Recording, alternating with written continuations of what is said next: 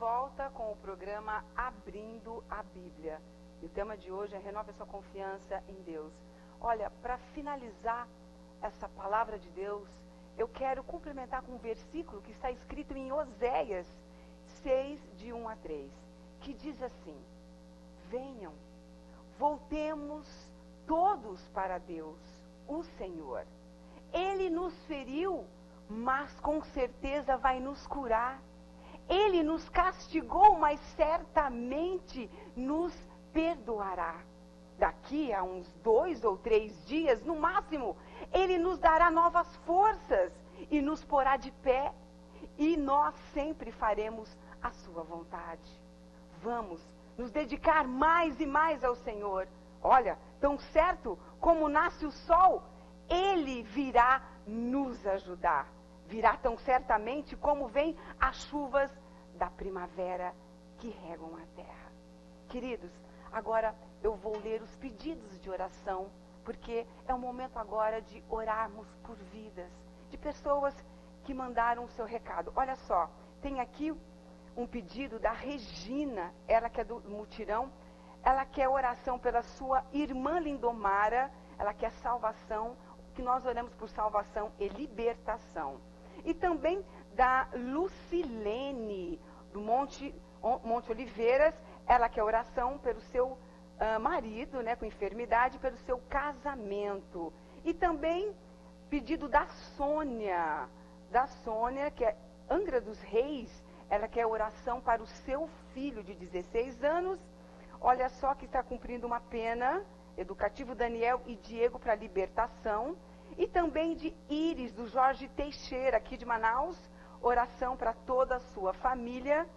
E também do Oswaldo Soares, do São Jorge, oração pela sua família, pela sua esposa Neila e também pela sua neta Emanuela. Também da Maria das Graças, ela é lá da Redenção. Ela quer oração porque está se sentindo. Uh, a Joana, a Joana, por Joana, que está se sentindo muito aflita. Vamos estar orando no final do programa. Também aqui a Normélia, lá na Compensa. Ela quer uma porta de emprego. Muito bom. Uma porta de emprego e também por salvação e libertação. Marlene Araújo, também do Jorge Teixeira, por sua filha, por seu filho Marco Antônio, Ana Clara, Júlio, Júlio César, salvação e libertação. Também nós temos o pedido da senhora Francisca do Jardim Mauá. Ela está sangrando muito com problemas de intestino. Temos também Rosinei Bentes, tá? Também é Manaus, oração por saúde, pela sua saúde. Amanda do São Raimundo, restauração do casamento e salvação. Temos também é, Tânia de Campo Grande, oração por todas as áreas da sua vida. Temos também Ana Cristina, que é de Manaus, oração pela sua saúde. Uh, e também a Elane, também é, agradecer a Deus por suas vitórias. Como é bom agradecer, né?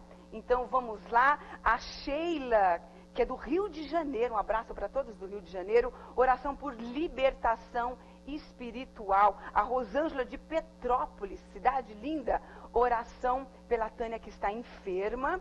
E também o último pedido da Marlene e do Jorge Teixeira, oração pela família. Então, vamos orar nesse momento. Você que está aí assistindo, abrindo a Bíblia, curva a sua cabeça, vamos orar por todos esses pedidos.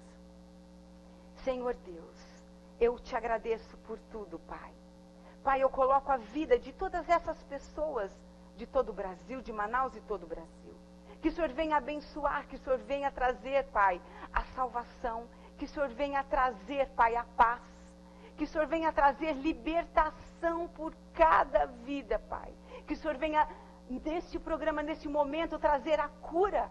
Meu Pai, cura. Cura, meu Pai querido. Cura a alma. Cura o físico, meu Pai. Trabalhe na vida de cada pessoa que aqui está, Senhor. Pai, nós precisamos da sua ajuda e nós temos conhecimento que o Senhor nos conhece suficientemente bem, melhor, para fazer o melhor por nós. Então, Pai, todas essas pessoas eu entrego agora nas suas mãos. Que o Senhor possa enviar os seus anjos e adentrar, Pai, cada casa, cada vida. Isso eu peço, Senhor, em nome de Jesus, para a tua honra e para a tua glória. Queridos, para vocês todos que mandaram esses pedidos, para você que não mandou, está aí assistindo, abrindo a Bíblia. Que Deus abençoe a vossa vida. Que a paz, nesse momento, possa inundar o seu coração, trazendo alegria, entendimento e conhecimento de quem é Deus. Deus abençoe e que nós possamos nos ver novamente e que Deus guarde a sua vida. Muito obrigada e nós voltamos amanhã com mais um Abrindo a Bíblia.